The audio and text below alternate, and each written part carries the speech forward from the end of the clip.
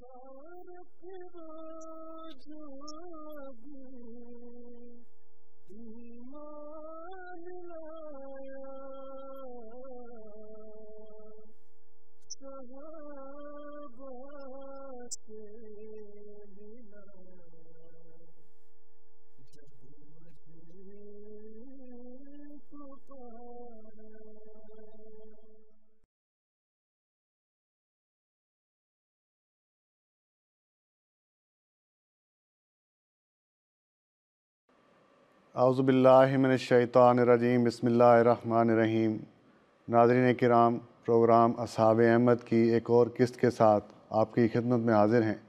इस प्रोग्राम में हम हज़रत अकदस मसीह मऊदम के सहाबा का तस्करा करते हैं।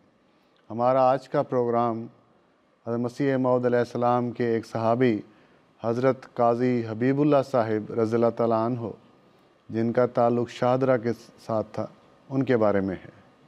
और आज के इस प्रोग्राम में मेरे साथ मुकरम सुहेल अहमद साकिब साहिब और हाफिज़ हिबतुररहमान साहिब होंगे।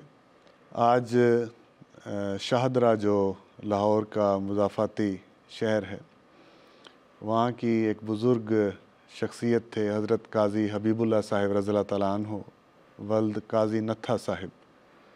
उनका तस्करा हम करेंगे। हज़रत काजी साहिब, अंदाज़न अठारह सौ इकहत्तर में पैदा हुए और सन 1900 में बैत करके सिलसिला अहमदिया में दाखिल हुए। जिसका मतलब है कि आपकी उम्र तकरीबन उनतीस साल थी जब आपने अहमदियत कबूल की है। तो आपकी बैत का इंदराज भी अखबार अलहकम में महफूज है, जहाँ सत्रह अक्टूबर सन 1900 के अखबार में बैत करने वालों में आपका नाम काजी हबीबुल्ला साहिब छावनी, मियाँ मीर पलटन नंबर तैंतालीस इस तरह लिखा है। बिल्कुल, हज़रत काजी हबीबुल्ला साहब को जवानी में ही अल्लाह ताला ने तौफीक दी कि आप हज़रत अकदस मसीह मऊदलाम को पहचान सकें और वक्त के इमाम को अल्लाह ताला ने आपको मानने की तौफीक दी। हज़रत काजी साहब ने ख़ुद अपने हालात तहरीर फरमाए हैं, जिनमें आपने अपनी कबूल अहमदियत के हालात और वाक़ात का तफसीली ज़िक्र किया है।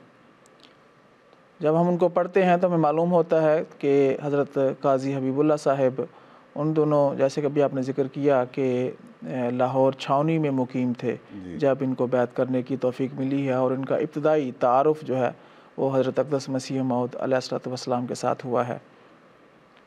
हज़रत काजी साहब लिखते हैं कि जब जलसा मज़ाहब आज़म हुआ है लाहौर में जिसमें मुख्तलि मज़ाहब के लोगों ने या उनके जो लीडर्स थे उन्होंने अपने अपने मज़हब की रूह से हज़रत अकदस मसीह माउदलाम की तरफ़ से जो उनको सवाल पेश किए गए थे उन सवाल के जवाब के जव, देने थे। तो उस दौरान हज़रत अकदस मसीह माउदलाम ने इस्लाम का दिफा किया है और इस्लाम के हक़ में दलाइल दिए हैं और उन सवाल के जवाब इस्लामी तालीमत की रोशनी में दिए हैं। तो हज़रत काजी साहब कहते हैं कि हमारी, क्योंकि छावनी में मुकीम थे तो छावनी में मुख्तलिफ़ अहबाब जो थे, ख़ास तौर पर जो क्लर्क्स थे तो क्लरिकल स्टाफ जिसे हम कहते हैं, वो उस जलसे में शामिल हुआ करते थे और जाकर सुना करते थे। और इसी तरह हमको कहते हैं, हमें उसकी रोईदाद जो है, वो भी रोज़ की रोज़ आया करती थी कि क्या हुआ है आज की कार्रवाई में और क्या सवाल थे और किस किस ने क्या क्या जवाब दिए हैं। तो कहते हैं जब हज़रत मसीह मसीम के जवाब हमें पढ़ने को मिलते और अहबाब भी उनका तस्करा करते कि जो जलसे के लिए, सुनने के लिए गए होते थे। तो उससे हमें बहुत सुकून मिलता, राहत मैसर आती और हमें इस चीज़ का एहसास होता कि ये हज़रत मिर्ज़ा साहिब हैं जिन्होंने इस्लाम का इस मौसर तरीक से दिफा किया है। और इस तरह हज़रत अकदस मसीह मौदलाम की इज़्ज़त जो है वो मेरे दिल में बढ़ना शुरू हुई है। तो इस तरह मेरा तारफ़ बड़ा है और मेरा हुसन ज़न हज़रत अकदस मसीह मौदलाम के बारे में हुआ। कहते हैं कि उसके बाद फिर मैंने सिलसिले की किताबें पढ़नी शुरू की और मैंने जमात के मतलब मज़ीद तारफ़ हासिल किया।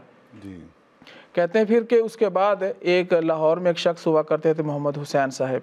उनको तबलीग का वो अहमदी थे उनको तबलीग का बहुत शौक़ होता था और वह मुख्तलिफ़ फ़िरके वालों से यानी मुनाजरे और मुबासे किया करते थे। आर्यों और ईसाइयों से। ख़ास तौर पर आर्यों और ईसाइयों का ज़िक्र मिलता है कि उनके साथ मुबासे किया करते थे। तो कहते थे कि मेरी भी उनके साथ नशस्तें होती थी वो मुझे तबलीग करते थे अहमदियत की हरत मसीम का पैगाम पहुँचाते थे। मुतद नशस्तें होने के बावजूद कहते हैं हज़रत काजी साहब कि मेरी तसली नहीं हो रही थी।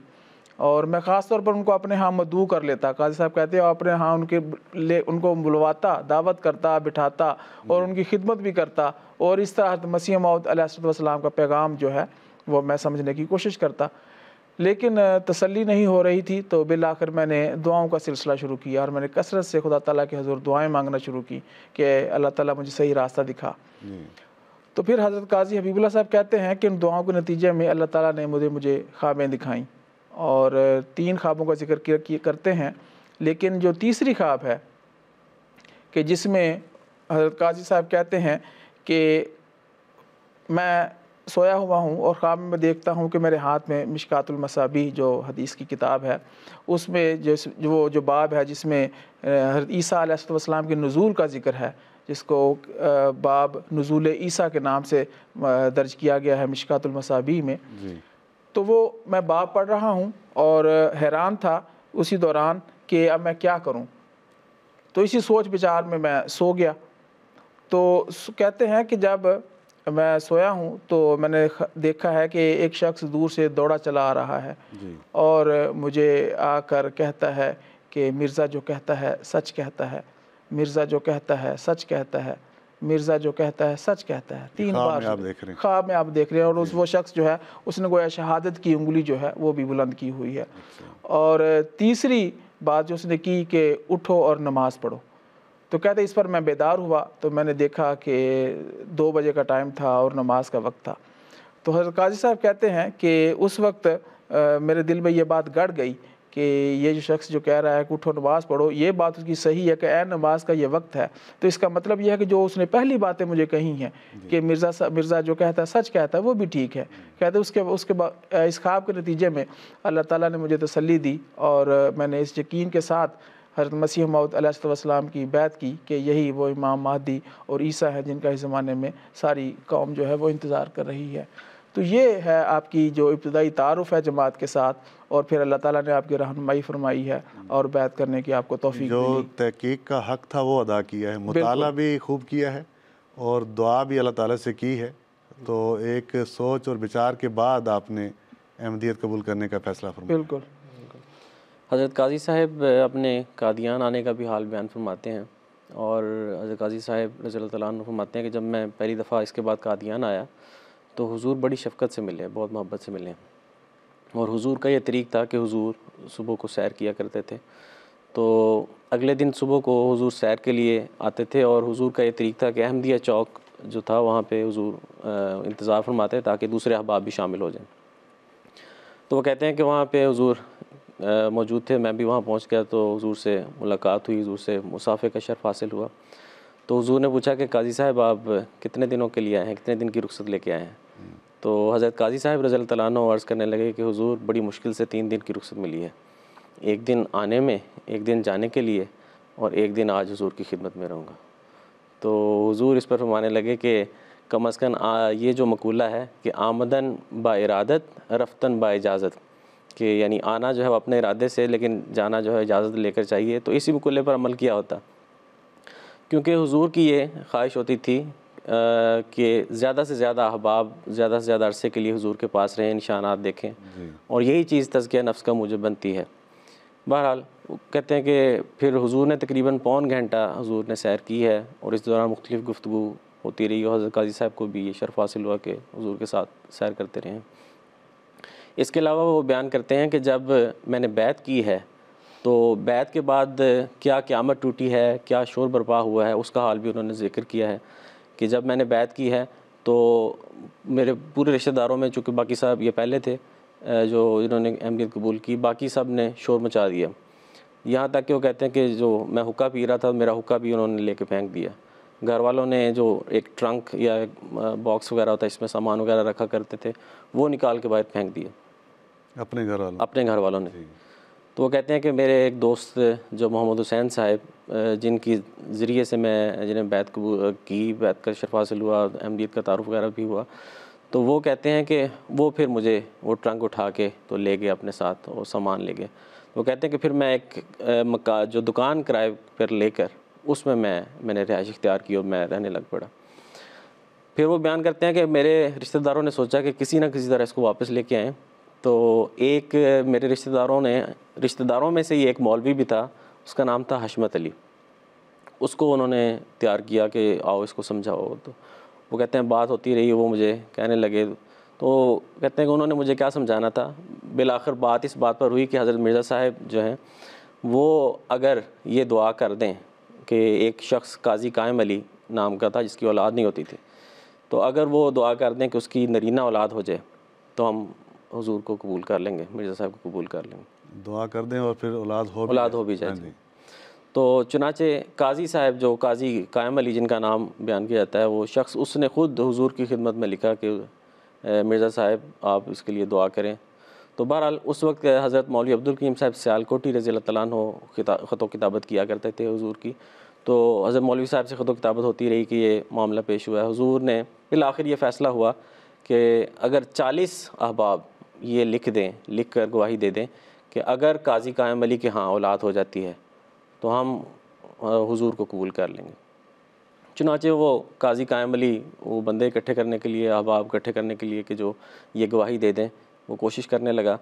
लेकिन वो मुश्किल उससे बीस पच्चीस लोग इकट्ठे हुए और बाकी लोगों ने कहा कि औलाद उसकी होती रहे और हम ऐसे मानते रहे। बहरहाल वो बदकिस्मती उन लोगों की कि वो ऐसा हुआ कि वो चालीस लोग इकट्ठे ना कर सके। और वो बयान करते हैं कि बिल आखिर वो काजी कायम अली भी लावलद ही मर गया। तो ये हालात थे इनके ख़ानदान के कि जब इन्होंने अहमदियत कबूल की हज़रत काजी साहब ने तो किस तरह पूरे रिश्तेदारों ने उन पर दबाव डाला है कि किसी न किसी तरह ये अपने इस हक को मानने से छोड़ जाएँ? यानी अपने घर से निकाल दिया है। और उस ज़माने में अहमदियत की खातिर इस किस्म की जो शिद्दतें हैं और मसायब हैं बर्दाश्त करना आपके ईमान को ज़ाहिर करता है कि अभी बिल्कुल अहमदियल कबूल करने का आगाज़ है और आप इस किस्म की कुर्बानियाँ पेश कर रहे हैं। चनाचे इसी मुखालफत का एक और रंग आपने यूँ भी बयान फरमाया है।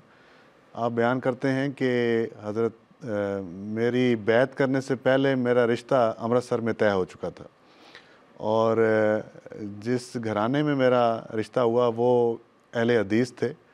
और गजनवियों के साथी थे। अमृतसर के गजनवी जो हैं, बड़े मसीम के मुखालिफ थे और हजूर ने अपनी किताबों में तस्करा भी किया हुआ है उनकी मुखालफत का। तो बहरहाल जब मेरी बैत का पता चला तो मेरे वही रिश्तेदार जो मुखालिफ थे, उन्होंने फिर ये दबाव डालने की कोशिश की कि ये अगर नहीं मान रहा तो इसका रिश्ता ख़त्म कराते हैं। ताकि शायद उस तरह मान जाए या कम अज़ कम हमारी लड़की जो है वो आ, बच जाए इस अहमदी के घर जाने से। तो कहते हैं कि ये कोशिशें वो कर रहे थे कि लेकिन अंदर ख़ानदान में कुछ ऐसे लोग थे जो मेरे साथ हमदर्दी रखते थे। तो उन्होंने किस तरह किसी तरह कह कलवा कर जल्दी से मेरी शादी करवा दी और रुखस्ताना हो गया और मैं अपनी बीवी को लेके आ गया घर। तो बाद में जब उनको पता चला कि ये तो अहमदी है तो वो ससुराल वाले जो हैं, वो फिर आए। आने से पहले उन्होंने कहा कि आप हमारी बेटी को जो है एक दफ़ा छोड़ जाएँ अमृतसर। और आगे यही नीयत थी कि हम फिर दोबारा नहीं भेजेंगे। और इस शर्त पे भेजेंगे, अगर वो अहमदियत से तोबा करते हैं तो। तो हज़रत काजी हबीबुल्ला साहब रज़ी तु लिखते हैं कि मैंने ये सारे हालात हज़रत मसीह मौदम की खिदमत में लिख दिए कि हजूर इस तरह वो कहते हैं और हैं वो अमृतसर के कटर अहल हदीस। तो हजूर चूँकि ज़ाती तौर पर जानते थे अमृतसर के इन लोगों को तो हजूर ने फरमाया कि हरगिज़ न भेजें, क्योंकि मैं इनको अच्छी तरह जानता हूँ, ये कभी भी आप वापस नहीं आने देंगे। तो आप मसीह मसीम के ख़त के बाद आपने घर वालों को लिख दिया ससुराल के, मैं नहीं भेज सकता, मसीह मसीम ने मना किया है। तो कहते हैं कि ख़त का उनको मिलना था कि वो दो दिन बाद खुद ही आ गए लाहौर और अब कहने लगे कि हम अपनी बेटी को लेने आए हैं।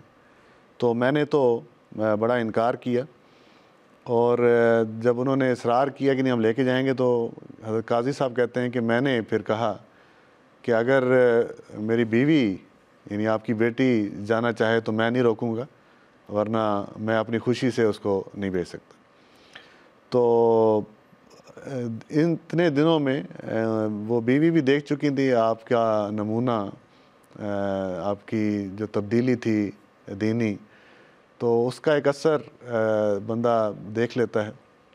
तो बीवी ने भी कहा कि जब तक ये मुझे इजाज़त नहीं देते, मैं नहीं जाऊँगी।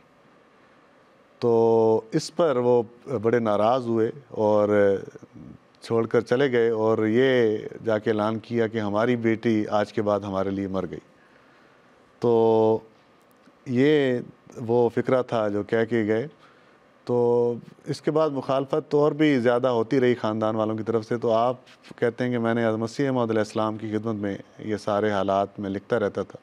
और जब कादियान जाता था तो हजूर भी पूछते थे कि रिश्तेदारों का क्या हाल है? तो मैं सारी बात बताता था तो हजूर फरमाते थे कि परेशान मत हों, एक दिन ये लोग आपके कदमों पे होंगे। तो काजी साहब कहते हैं कि बाद में वो ज़माना आया भी कि मेरे वो रिश्तेदार मेरे किसी मजबूरी की वजह से मेरे साथ फिर मसालत पर राज़ी हो गए। गो के अहमदी ना हुए, लेकिन वो जो मुखालफत थी छोड़ दी। तो ये वो हालात हैं मुखालफत के, जिससे आपको दो चार होना पड़ा। लेकिन अहमदियत की खातिर आपने ये सब बर्दाश्त किया है। जी यही वो लोग थे जो जिन्होंने दीन को दुनिया पर मुकदम रखा है और बैत कर लेने के बाद अपने वजूदों में बहुत तब्दीली नुमाया तब्दीली पैदा की है। और उस तब्दीली का असर फिर घर से शुरू होता है और दूसरी फैमिली मेंबर्स तक जाता है ख़ानदानों तक बढ़ता चला जाता है। और इन्हीं नमूनों को देखते हुए फिर तबलीग के रास्ते खुले और बहुत सारे दूसरे अहबाब भी जिनको अहमदियत तो कबूल करने की तोफ़ी मिली। तो हज़रत काजी हबीबुल्ला साहब रज़ी अल्लाह ताला भी उन्हीं वजूदों में से एक वजूद हैं कि जिनको अल्लाह ताला ने यह सब्र और हौसला अता किया उन्होंने अपने अंदर तब्दीली पैदा की। और ये तब्दीली हज़रत मसीह मौदम की बदौलत और आपकी तोफ़ैल आपकी सोहबत के तोफ़ैल। और हज़रत काजी साहब कहते हैं कि वो कादियान आया करते थे और हजूर की मजालस में बैठा करते थे। तो एक दफ़ा 1902 में, हज़रत काजी साहब कहते हैं 1902 में एक दफ़ा मैं कादियान आया तो एक साधु सा शख्स था और वो हज़रत अकदस मसीह मौदम से मुख्तलि सवाल कर रहा था। उन सवाल में से एक सवाल उसने हज़रत मसीह मौदम से ये भी किया कि जब आप फौत हो जाएँगे तो आपके सिलसिले का क्या बनेगा? तो इस पर हज़रत काजी साहब कहते हैं कि हज़रत मसीह माउदम ने बड़ी तहदी के साथ फरमाया कि वही हाल होगा जो नबियों के बाद नबियों की जमात का हुआ करता है। हम्म। और साथ फरमाया कि ये सिलसिला बढ़ेगा फलेगा फूलेगा और तरक्की करेगा। तो ये इन सहाबा की ही ये रिवायात हैं जो हम तक इस तरह पहुँची हैं। इसके अलावा हज़रत काजी साहब ने एक और वाक़ भी ज़िक्र किया है कि मसीह मऊदम की अपने असहाब के साथ क्या मोहब्बत थी।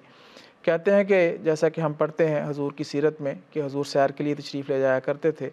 तो एक दफ़ा काजी साहब भी उन साहब में शामिल थे कि जिनको ये तोफ़ी मिली कि वह हज़रत मसीह मऊदम के साथ सैर कर सकें। तो हज़रत काजी साहब कहते हैं कि एक दफ़ा हम सैर के लिए कादियान से बाहर गए और जब वापस कादियान में दाखिल होने लगे तो हरत मसीह मऊदम ठहर गए और फरमाया कि हम तो बग़ैर मिले ही मौलवी साहब के घर को वापस जा रहे हैं। तो ये मौली अब्दुल करीम साहब रज़ी अल्लाह ताला का ज़िक्र कर रहे थे कि जो उस वक्त बहिश्ती मकबरा में दफन हुए थे।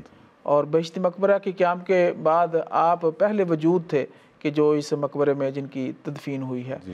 तो हरत मसीह मऊदम का अपने जो दरीना साहब थे उनके साथ जो मोहब्बत और ताल्लुक़ हमें नज़र आता है इस बात से कि हसब हरमसलाम कादियान वापस दाखिल होने से पहले कह रहे हैं कि हम यहाँ तक आए हैं और बहिश्ती मकबरे में मौलवी साहब को मिले बगैर चले जाएँ तो हजूर ने इस बात को पसंद नहीं फरमाया। कहते हैं कि मौलवी साहब हज़रत मसीह मऊद वापस गए हैं और हज़रत बश्त मकबरे में गए हैं और हुजूर ने हज़रत मौलवी अब्दुल करीम साहिब रज़ी अल्लाह की कब्र पर जाकर दुआ की है और दुआ के बाद फिर वापस कादियान तशरीफ़ लाए हैं। तो ये बातें गो बज़ाहिर के मामूली नज़र आती हों किसी को लेकिन इसमें हज़रत मसीह मौदलाम का एक अपने साहब के साथ ताल्लुक़ और यही वो हज़रत काजी हबीबुल्ला साहब जैसे लोग हैं कि जिनके ज़रिए से ये बातें हमारे तक पहुँची हैं। मौली अब्दुल करीम सियालकोटी साहब रज़ी तु का मकाम और मरतबा तहरीरात से भी बड़ा वाज है लेकिन ये वाक़ एक इनफरादी नोयत का है कि मसीह वापस गए हैं दुआ के लिए दुआ के लिए। और, दुआ और उसको कहा है कि मुलाकात किया बगैर उस, दुआ को हजूर ने मुलाकात गर्दाना है। जी। जैसे कि ज़िक्र हुआ कि सैर में ये वाक़ हुआ कि हजूर सैर से वापस आ रहे थे तो ये सैर का जो मौका होता था ये जैसा कि ज़िक्र हुआ कि एक तज़किया नफ्स का और वाक़ात का और इल्हामात का ये एक असहाब के लिए एक मौका होता था कि ये हुजूर की ज़ुबान मुबारक से हुजूर मुख्तलिफ़ नसाए और कलिमात सुनते। जी। चुनाचे इसी वाक़े के की तसलसल में जब हुजूर वहाँ से आगे तशरीफ़ लाए हैं तो मेहमान खाने के करीब कुछ चढ़ाई थी।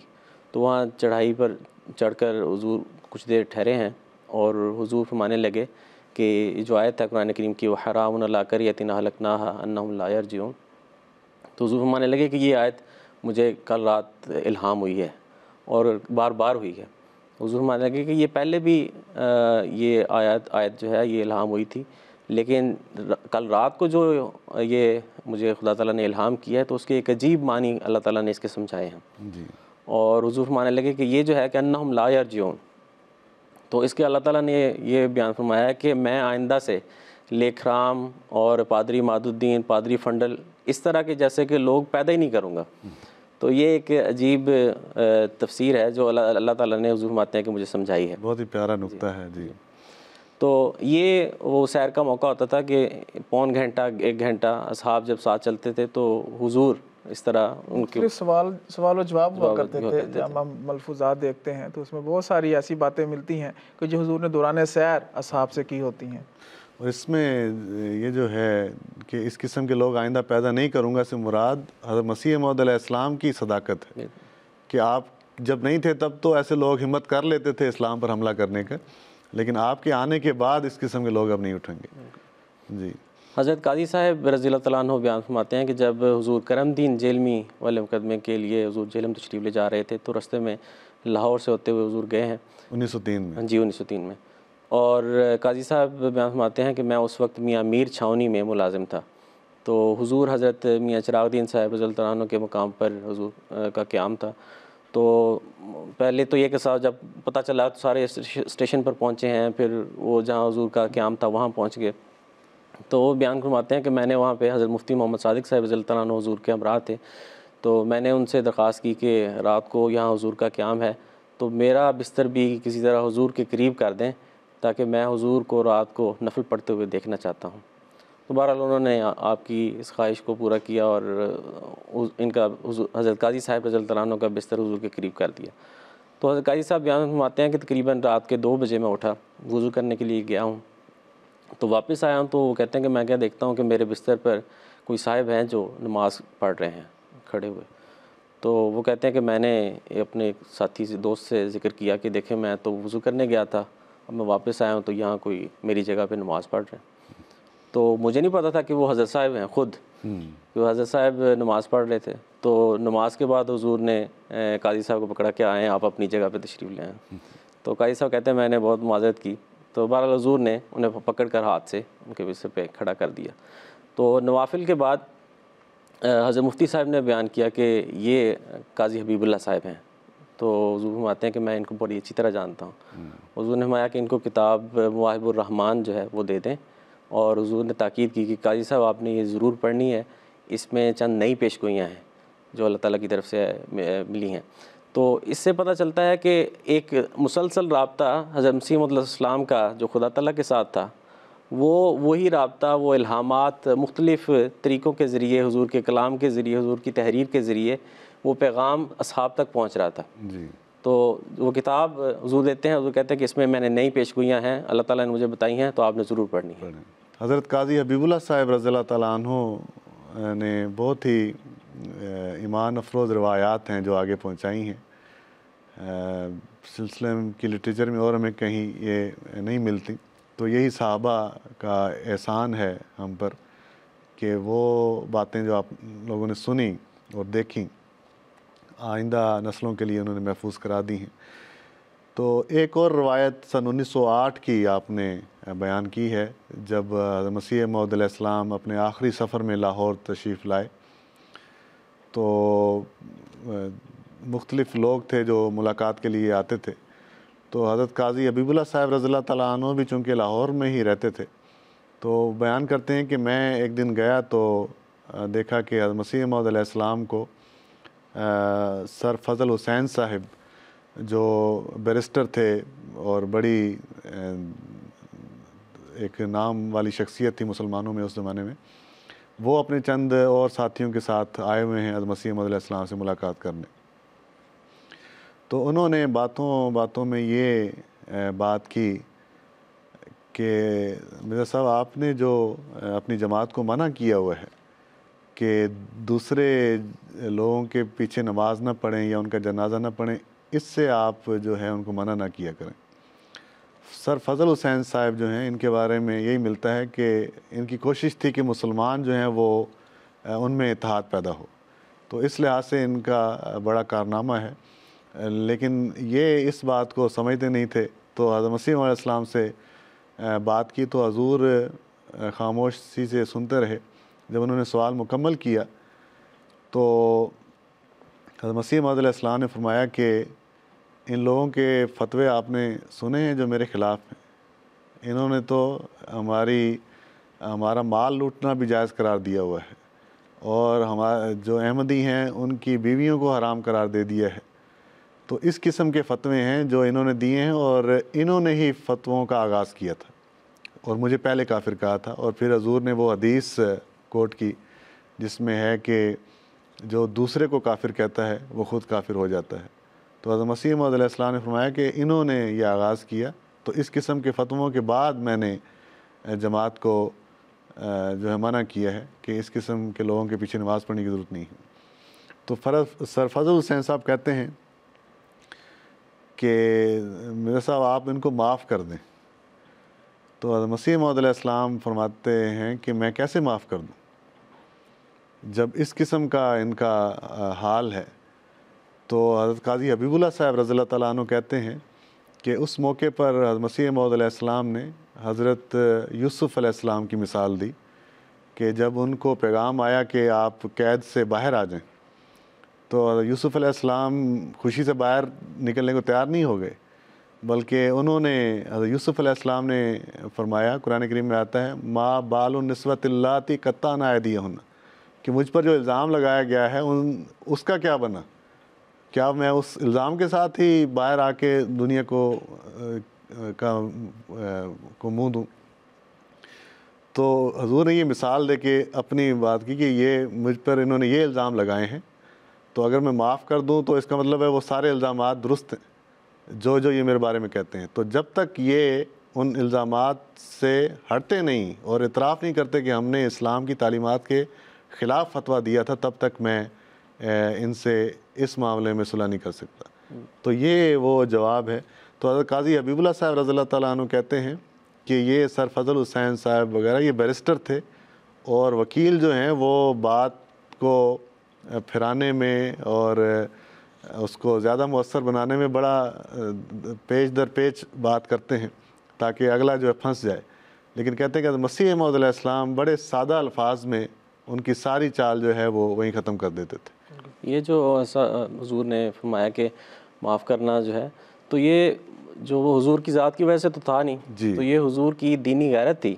कि खुदा तला ने जिसको नबी मुकर किया है बिल्कुल। उस पर जो इल्ज़ाम लगाए हैं वो दुरुस्त नहीं। अगर हजूर की सिर्फ़ ज़ात तो होती तो वो बिल्कुल अलग बात है हजूर ये तो बिल्कुल एक शरी मसला था। जी तो शरीयत की रूह से हजूर ने ये फैसला फरमाया। बिल्कुल। अब मैं आपके सामने हज़रत काजी हबीबुल्ला साहब जिनका हम ज़िक्र कर रहे हैं उनकी कुछ नुमाया औसाफ का ज़िक्र करना चाहूँगा। हज़रत काजी हबीबुल्ला साहब रज़ी तु के बारे में मिलता है कि आप बड़े मुस्तजाब दावात बुज़ुर्ग थे। इसके अलावा नमाज़ तहजद उम्र भर बाकायदगी से साथ अदा करते रहे हैं और तबलीग का भी आपको बेहद शौक़ था जैसे कि हम पहले वाक़ात कुछ ज़िक्र कर चुके हैं। और इसी तरह एक दफ़ा एडिटर अखबार बदर ने लिखा कि जिसमें हज़रत काजी हबीबुल्ला साहब रज़ी अल्लाह तु का इस हवाले से ज़िक्र किया कि चूँकि ये जो रसायल कादियान से निकलते थे ये तबलीग का एक मौसर ज़रिया हुआ करते थे। तो हज़रत काजी साहब को अल्लाह ताला ने ये तोफ़ी थी कि बहुत सारे अहबाब के नाम इन्होंने अलबदर जो अखबार कादियान से निकलता था वो निकलो लगवाया था। तो इस तरह उनके नाम लगवाते और वो इस तरह अखबार को पढ़ते और उनको दीन हक को समझने में आ, मदद मिलती। यानी इसकी जो अदायगी है पैसे आप देते? बिल्कुल। और गैर अहमदी दोस्तों के नाम लगवा नाम लगवा देते अहमदियत का पैगाम जी बिल्कुल अहमदियत का पैगाम पहुँचे। इसके अलावा कहते हैं कि चश्मा मसीह जो मसीह मऊदलाम की किताब है उसकी इशात में भी आपने उसमें तावन किया है। इसके अलावा हज़रत खलीफतमसीह अव्वल रज़ी अल्लाह ने एक दफ़ा तबलीग अहमदियत के लिए छोटे छोटे ट्रैक्ट या पम्फलेट वगैरह जो हैं इस तरह के शाया करने की तहरीक की कि दोस्त जो हैं वो शाया करवाएँ। तो इसमें भी हज़रत काजी हबीबुल्ला साहब ने लाहौर, चूँकि लाहौर में मुकीम थे तो लाहौर के बाद दूसरे अहबाब के से, के साथ मिलकर उन्होंने बाज़ ऐसे ट्रैक्ट या पम्फलेट शाया किए, जो जो तबलीग अहमदियत में मुमिद और मुआवन साबित हो रहे थे। और इस जो ट्रैक्ट वो शाया किए, उन्होंने हज़रत काजी साहब ने, या शाया करवाए, उसकी खबर एडिटर अखबार अलहकम ने भी दी अपनी अखबार में। और उस इन ट्रैक्ट के हवाले से उन्होंने जो अल्फाज इस्तेमाल किए अलहकम में, वो कुछ इस तरह इस तरह से हैं। लिखते हैं कि ये ट्रैक्ट कई पहलुओं से काबिल कदर हैं। कि यानी हज़रत काजी साहब और उनके असहाब ने जो शाया किए हैं, ये कई पहलुओं से काबिल कदर हैं। और कहते हैं, मैं इससे उन बुज़ुर्गों की इस मोहब्बत की खुशबू सूंघता हूँ, जो इनको हज़रत के कलाम से है। और उसकी खुश, और उसकी इशात का जोश उनके दिल में है। तो ये जो अल्फाज हैं, ये बहुत प्यारे हैं कि जो आपकी तहरीर आपने उसमें ट्रैक्ट में शामिल की है, उसमें हज़रत मसीह मऊद अलैहिस्सलाम के इल्म कलाम की उसमें से खुशबू आती है कि जो पैगाम उन्होंने वो दिया था, वो पैगाम जो है वो आगे उस खुशबू को गोया, वो फैला रहे हैं। वो ट्रैक जो है, उसमें अपने अल्फाज की बजाय मसीह की तहरीर रखी हैं। जो ज़्यादा मौसर और अपने अंदर असर तो इससे पता लगता है कि आपके दिल में तबलीग का हरत मसीम इस्लाम की पैगाम की इशात का किस कदर अल्लाह ताला ने जोश अता किया हुआ था आपको? जी बिल्कुल ये तबलीग का जोश हज़रत काजी साहब रज़ी तु की ज़िंदगी में मिलता है। और हम देखते हैं कि जब हज़रत अकदस मसीह मौदलाम की मुख्तलि पेशगोइयाँ पूरी हुई हैं या हुजूर की पेशगोइयों के नतीजे में निशानात ज़ाहिर हुए हैं तो उन निशानात को भी हज़रत काजी साहब आगे बयान किया करते और उसे इस्तलाल करते और इतमाम हजत करते। चुनाचे जो जलज़ले की पेश गोई वाला निशान है, जब ये निशान ज़ाहिर हुआ है तो इस पर हज़रत काजी साहब ने एक तहरीर लिखी है और अखबार अलबदर में भेजी है और उसमें काजी साहब लिखते हैं कि देखते हैं कि मुनकरीन अब इससे क्या सबक लेते हैं या इससे भी किसी बड़े जलज़ले का इंतज़ार करते हैं। तो जैसे ही इमाम वक्त की तरफ़ से कोई दलील मिलती है या निशान ज़ाहिर होता है तो उस पर उसको पूरी तरह पहुंचाते हैं। तो ये हज़रत काजी साहब की के वस के वस में शामिल था कि वो तबलीग को बहुत ज़्यादा अहमियत देते थे। इसके अलावा हज़रत तकदस मसीह मौलाम के बाद खिलाफत के साथ भी आप बड़े खलूस के साथ और वालहाना जोश के साथ वाबस्ता रहे हैं। और चूँकि जब जून 1912 में हज़रत खलीफतमसील अव्वल रज़ी हो लाहौर तशरीफ़ लाए हैं, सफ़र लाहौर पर तो उस वक्त भी आप चूँकि लाहौर में ही मुलाजम थे तो आपने हज़रत खलीफतमसील अव्वल रज़ी तु को शाम के वक्त चाय पर दावत दी है, जो हुजूर ने हज़रा शफ़क़त कबूल की और हुजूर ने शाम को आपके साथ चाय पी। तो इससे पता चलता है कि जो लाहौर की जमात में और हुजूर चाहे हुजूर का आना हो या खुलफा का आना हो तो हज़रत काजी साहब मेहमान नवाजी में भी पेश पेश रहा करते थे। इसके अलावा हज़रत मुफ्ती मोहम्मद सादिक साहब रज़ी हो जब एक दफ़ा बीमार हुए हैं और लाहौर में के एक हस्पताल में ज़ेर इलाज रहे हैं तो उनकी भी तीमारदारी में हज़रत काजी साहब ने बड़ी बड़ा हिस्सा लिया है और बड़ी खिदमत की है। चुनाचे हज़रत मुफ्ती साहब जब ठीक होने के बाद उन्होंने अब शुक्रिया अदा किया है कि इन अहबाब ने मेरी तीमारदारी की है तो उन्होंने एक फ़हरिस्त शाया की है तो उसमें उन्होंने लिखा है कि हज़रत काजी साहब और उनकी उनकी बेटियाँ। तो ये ख़ानदान, मेहमान नवाजी, तीमारदारी, इन औसाफ में भी हज़रत काजी साहब जो है वो खूब पेश पेश थे। जी, बिल्कुल, जिन लोगों ने हज़रत काजी हबीबुल्ला साहिब रज़ी तु को देखा हुआ था तो उन्होंने गवाही दी हुई है कि आपके औसाफ इस्लामी तालीमत और मसीह महदम की तालीमत के मुताबिक आप ज़िंदगी गुजारते थे। हज़रत काजी हबीबुल्ला साहिब रज़ी तु ने चार मार्च सन उन्नीस सौ चौंसठ को तकरीबन तिरानवे साल की उम्र में वफ़ात पाई। आप चूँकि मूसी थे तो बहती मकबरा रबा में आप दफन हैं। आजकल जो जाम अहमदी रबा में प्रिंसिपल हैं मुकरम सैद मुबशर अहमद अयाज साहिब वो हज़रत काजी हबीबुल्ला साहब के नवासे हैं। तो इस तरह आपने आगे बेटियों की और औलाद की भी तरबियत की है। तो ये था तस्करा हज़रत काजी हबीबुल्ला साहिब रज़ी अनहों का। नाजरीन कराम, इसके साथ ही आपसे इजाज़त चाहते हैं। असलकम वरहमल वर्का